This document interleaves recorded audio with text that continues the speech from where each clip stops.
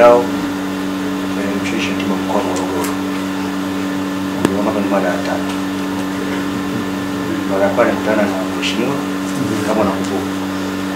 Mara ya pili nikutana na.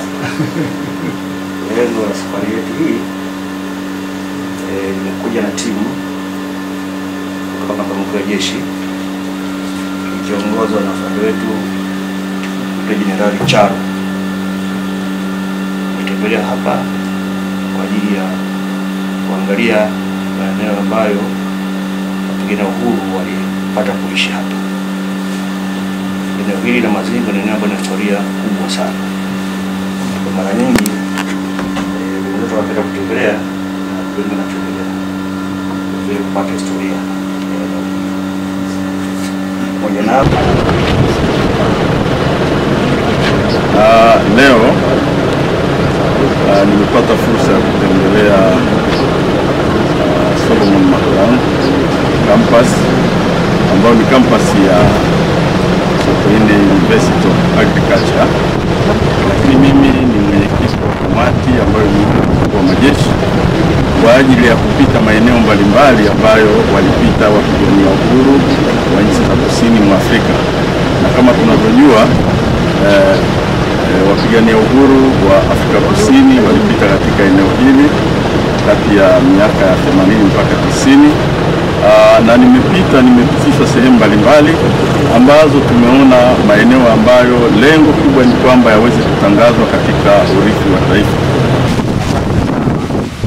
Eh, sisi kama sehemu ya maeneo yanayotunza maeneo ya ukombozi kusini mwa Afrika, mambo tunayojivunia ni kwamba eh, kama ulivyomsikiliza Brigedia General Charo ni kwamba eh, yeye amepitia, maeneo mengi sana ambayo yalitunza wa eneo huru wa nchi za kusini mwa Afrika, lakini kuna maeneo mengi anasema hayajatunzwa vizuri na kuna baadhi ya kumbukumbu zimepotea, lakini sisi ametusifu sana kwamba eneo hili la Mazimbu ni eneo ambalo eh,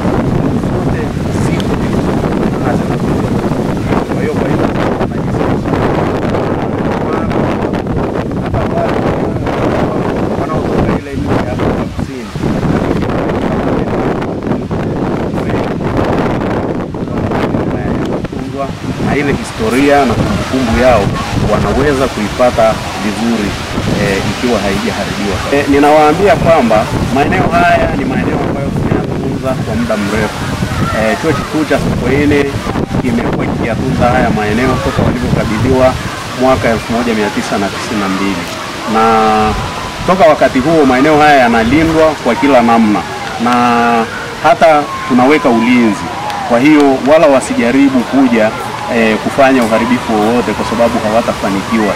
Ulinzi ni imara na sisi tumejipanga katika kutunza maeneo haya na kuyalinda, na hatudhani kama wataweza kufanikiwa eh, wote wenye majaribio ya kufanya uharibifu katika maeneo haya.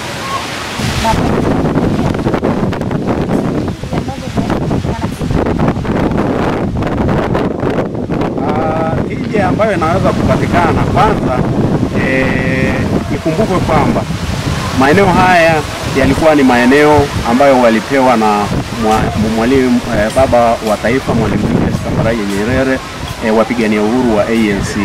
Na eh, utawala wa makaburu ulipovunjika kule Afrika Kusini mwaka 1992 wakaondoka wakakabidhi eh, majengo haya na kwa kwa serikali ya Jamhuri ya Muungano wa Tanzania, na SUA ikaomba kwa sababu ilikuwa inaongeza udahili ili iweze kuyatumia.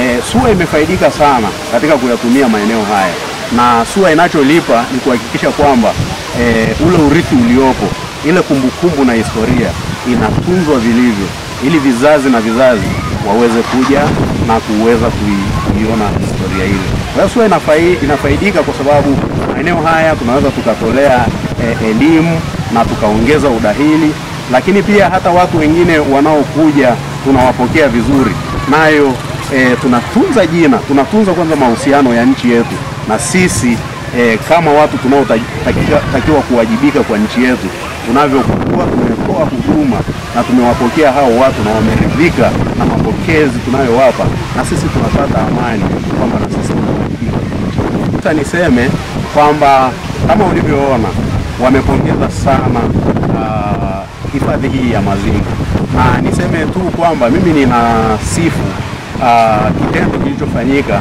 uh, na viongozi wa nchi hii kuteua Brigadia Charo kuwa mwenyekiti wa kamati itakayozungumzia maeneo yote inayohifadhi historia za ukombozi eh, wa ah, nchini eh, kus, eh, kusini mwa, mwa, mwa bara la Afrika. Na wametembelea maeneo mengi. Hili la kwetu ni mojawapo, na watatembelea maeneo yote haya. Na wataweza kuweka eh, kumbukumbu na wataweza kuelekeza namna ya maeneo hayo kuweza kutengenezwa na kuwekwa vizuri ili kumbukumbu isiweze kupotea na ikaweza kuhifadhiwa kwa ajili ya vizazi vijavyo. Kwa hiyo naona kwamba eh, hatua hiyo ya kuteua kamati hiyo ni muhimu sana kwa ajili hasa kwa ajili ya maeneo yale ambayo yalishaachwa kama yanataka kuendelea kupotea. E, ni jambo muhimu kuhifadhiwa na ikaweze kuwa historia e, ya eh, jitihada hizo zilizofanyika za ukombozi wa kusini mwa.